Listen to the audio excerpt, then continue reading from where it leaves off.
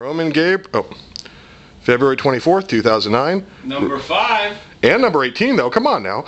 Okay. Ro- Roman Gabriel signing the jerseys and jersey numbers for leaderinsports.com in South Carolina. February, what, 24th, I said? Wilmington, North Carolina. Wilmington, North Carolina. I stand correct. I don't even know where I am. Okay.